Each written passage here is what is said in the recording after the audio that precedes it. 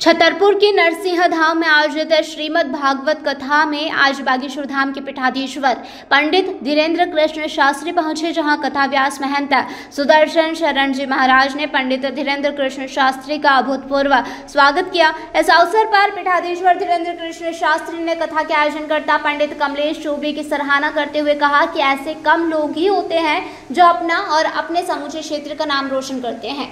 उन्होंने कहा कि घड़ा वाले चौबे परिवार द्वारा प्रतिमा पुष्य नक्षत्र पर मोटे के महावीर धाम में विशाल भंडारे का आयोजन करवाया जाता है, जो कि सराहनीय कार्य है।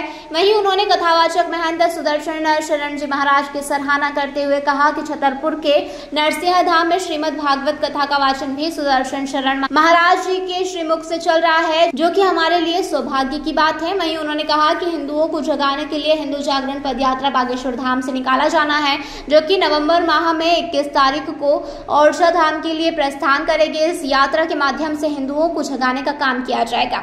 हम आपको बता दें कि नरसिंह धाम में तेईस से सप्त दिवसीय श्रीमद भागवत कथा एवं असंख्य पार्थिव शिवलिंग निर्माण कार्यक्रम का आयोजन किया गया है। आज शुक्रवार, प्रथम दिवस की श्रीमद भागवत कथा में बड़ी संख्या में श्रद्धालु मौजूद रहे। सप्त दिवसीय श्रीमद भागवत कथा और 108 अष्टोत्तर शत पार्थिव शिवलिंग निर्माण का सात दिन तक अनवरत कार्यक्रम चलेगा। आठवें दिन विशाल भंडारा और पूर्णाहुति का कार्यक्रम रहा जाएगा।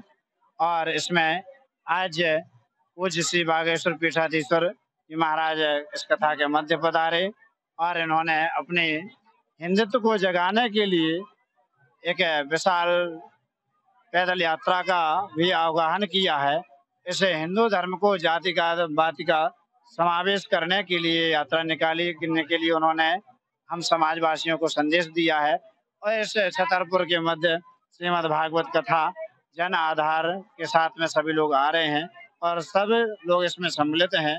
सबके जन सहयोग से और हमारे श्री गढ़ा वाले चौबे जी महाराज मुख्य यजमान और पूर्ण रूप से भरपूर सहयोग अपना प्रदान कर रहे हैं। इन सभी को हमें जो यजमान के रूप में सब लोगों को बहुत बहुत धन्यवाद। हाँ इस बार इस बार भागवत कथा के मध्य में अष्टोत्तर शत एक सौ आठ भागवत कथा है जो कि एक सौ आठ ब्राह्मणों द्वारा एक एक ब्राह्मणों द्वारा एक एक भागवत का मूल पाठ पारायण किया जा रहा है।